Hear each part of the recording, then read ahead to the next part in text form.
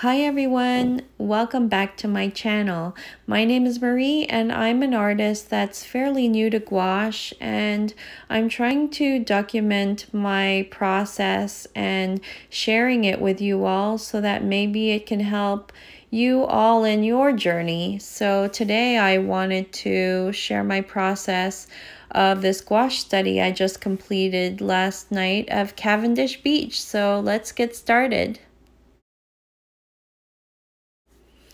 So we have a lot of stuff to cover in this video. I think I'm pushing my limits on uh, what I want to show in each video. So I hope it's beneficial for you all. And if it helps you, please give it a like and subscribe because I'll be posting more videos of my process um, in the future.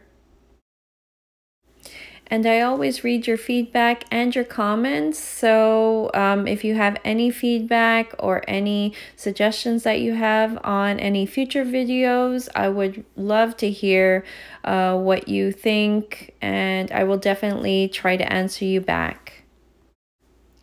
So I wanted to show you the original reference photo. This was taken uh, many years ago.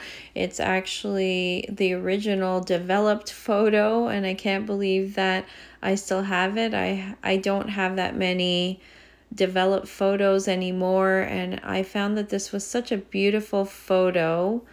Um, and back in the day, I wasn't even painting yet, so I'm very surprised that I actually have a photo of a landscape with no people in it posing. So even though the photo was a really beautiful one, I still wanted to edit it to my liking. Um, the original horizon line was straight in the middle and an artist technique is to apply the rule of thirds so I cropped uh, the photo so that the horizon fit a third of the way at the top and I found that it was more pleasing to the eye and more interesting. Another thing that I did was because the original photo was so gloomy and you can't really see the colors, I adjusted the photo um, and increased the saturation and also a bit of the brightness so you can actually see what colors uh, were there. Um, this looked very, very gray, so I found that it helped me out uh, when I was painting, and I hope this tip helps you too. And here's the photo after I had cropped and also adjusted the saturation and brightness and I found that it made a world of a difference. Um, I was more inspired in painting this study and I just love those little um, accents of orange all throughout this photo that I didn't get to see in the original one. So I was really happy after um, I finished editing. And for this study, I wanted to practice using an artist technique to design a painting, which is using a Notan sketch, which is either a two or three uh, value thumbnail sketch of uh, your reference. And it's just to give you an idea on just basic shapes and how the composition looks. So you kind of do different uh, variations of sketches of uh, light and dark and then you choose which one you like the best and that's what I did and um, I wasn't sure if I should make you guess uh, which one I chose, but I'll tell you now that I chose the one on the top left, and I hope you agree that I chose, I guess, the most pleasing to the eye one. So I said that uh, there's a lot of jam-packed information and um, I hope this video doesn't trail on for so long but I found that all the information was so useful that um, I couldn't not share it, especially after I kind of recorded everything. So now I'm sharing my supplies uh, for painting. So once again, my two uh, trusty jars of water, and also I used three types of brushes for this a three quarters flat, a half inch flat, and uh, a round brush. I'm not really sure what the size is. And this time, instead of using the cheaper uh, student grade uh, white, I decided to use the designer white. And oh, what a difference it made this time. And also, I uh, used a limited palette again of a yellow, red, and blue. So here I'll post the reference photo and I always find it useful to have the reference photo in process videos so you can see how I painted a certain way or a certain color and um, that's what I look for in videos so I'm hoping that it helps you have the reference shown uh, while the video uh, progresses. I get so sad when I forget to press record at the beginning, and that's just what I did. and I'm so sorry about that. I didn't have um, on video how I had toned the paper or did the sky. So, but I can explain it to you. I did um, a diluted wash of a mix of orange and also uh, for the sky on top of the orange, I had mixed a lot of white with a little bit of the yellow and the tiniest bit of blue to get this mint uh, this mint color. And um, part of the challenge was uh, to uh, create uh, a painting with 90 to 95% greens. So that's what I tried to do. So it, it was a lovely minty green. It's I've never really uh, painted mint green sky, but for some reason in this painting it worked so well. So after painting the sky, I started to block in the path in the forefront of sand and also started with the darkest areas. Um, I just basically mix with my round brush, um, just a mixture for the sand, a bit of the red and yellow to make some sort of orangey reddish tone with a lot of white. And I just play with you know the the warm and cool and uh, yellow and and red with a little of blue to kind of desaturate it a bit uh, so it won't look so bright so having um, a limited palette I found was so useful for me because it, it's nice to narrow down your options. You don't really have a lot of choices for colors, so you kind of have one or the other, which was so useful. So if you haven't tried painting with a limited palette, I totally suggest it because it was so useful and you learn a lot doing it. And you can tell that I'm babbling so much because the video is so much more advanced than what I'm describing, so I'm sorry about that. Uh, for the darkest darks, I just mixed all three primaries together without any white, and you just get this really dark color. And for greens, obviously it's yellow and blue, and uh, just to block in the different areas, I just vary the amount of yellow to the amount of blue and then add a little bit of the red to kind of desaturate it, add some white. So you kind of just study uh, the different areas and try to block in different sections with just studying the color of that section and then you just block it off. It's less intimidating uh, to do it that way than to work each and every detail. So I found that really helpful to just block in each area and until it's all covered and then after that go in with detail. So I'll let the video play on uh, while I do all the blocking and then um, I'll comment on the next step after that. I also wanted to say that um, I really enjoy using a round brush with gouache versus a flat. For some reason, I'm not getting the paint consistency accurately with a flat brush versus a round brush. So I suggest that you try all different types of brushes and see uh, which one uh, you seem to be uh, painting better with.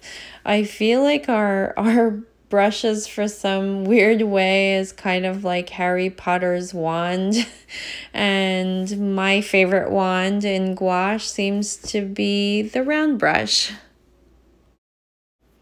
And I'm so sorry I forgot to press record again for another section of painting. Uh, but I can explain that after uh, blocking uh, the whole area, I started with uh, studying the details. And it's kind of the same as blocking, but just uh, seeing the difference of contrast or color variations within the area that you block to kind of break up um, the whole mass of shape. So that's what I just did, uh, studying the color, studying to see if I need to desaturate more or add more uh, yellow, add more uh, red and blue, and um, I just adjust accordingly by value or if a color feels wrong. So it's really just looking back and forth between the photo reference and your painting uh, kind of seeing uh, it's kind of like that game uh, where you spot the differences between two um, two comic comic drawings or something and you just see what uh, you need to do. Um, the trap is is that you you don't really want to copy exactly like uh, the photo reference, and that's something that I need to work on too. Um, so there's a degree of, you know, spotting the differences between uh, photo reference and your work, but also um, seeing your work as a whole. And that's something about the journey with me that, you know, I'm trying to discover as an artist. So here you see me adjusting uh, the background in the distance and the atmospheric perspective. Uh, usually from what I was learning is that uh, with uh, atmospheric perspective um, to uh, make the landscape recede in the background. It becomes more lighter, more blurry, more bluish. And I think I had uh, made it too light. So I'm just darkening uh, it again, but still keeping it kind of a bluish green. And that's something that you'll just keep doing uh, for each section, just working over. And that's what I really like about gouache is that you can just paint over any mistakes that you have made and it doesn't look like you made any. So you see me struggling with the grass in the forefront. I tried to use the round brush and I tried to make vertical uh, strokes with uh, the brush and trying to uh, copy the grass that you see in the front unsuccessfully and later on I'll correct it. So uh, just ignore that area for now and later on you'll see me uh, correcting it um, much better than I'm doing right now. So here I start to add those little dark uh, details of I think it's either stones or rocks on the sand. And I found that it was such a high contrast that the eye goes there instead of where I wanted the focal point, which was um, that uh, horizon in the background. So I had later um, adjusted the value of those stones so that it's less contrast with the sand and uh, that seemed to work. And here is me taking off the tape, which is one of my uh, favorite parts of the, doing these videos and showing all the lovely edges. Gosh, does it make a huge difference without the tape.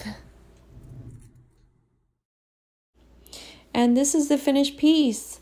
Um, I was really happy when I completed this. I was very pleasantly surprised at how um, nice it turned out. Um, all the colors looked harmonious. It looked very calm and peaceful. So I think I achieved what I wanted to, and uh, including lots of greens. And I also wanted to mention that uh, this was actually a challenge prompt from an art group called the Art Refuge on Facebook. And uh, I was really glad that I participated in this challenge. I also wanted to mention that the owner of the art group, um, Heather Ean, has been uh, giving me some critiques and some tips. We had done an exchange and I found that I improved so much and I am so grateful to her help. If you want to check out my other videos before this one, you'll see the progression of how I've improved. At least I think that I did. So I'm curious to see what you think. So you can write that in the comments and let me know. So that's it for this video. I am so um, happy that I posted this video and painted this painting and shared my process with you. And I feel like I included a lot of tips in this one compared to others. So I hope that it did help you.